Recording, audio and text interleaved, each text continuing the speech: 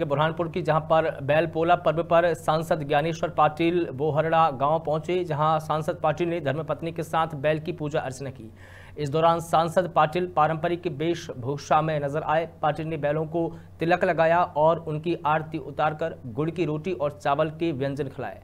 बता दें कि भाद्रप्रद अमावस्या से एक दिन पूर्व किसान गाय और बैलों को रस्सी से आज़ाद कर देते हैं। वहीं लोग बैलों के सामने हाथ जोड़कर कृषि में सह भूमिका निभाने के लिए आभार व्यक्त करते हैं।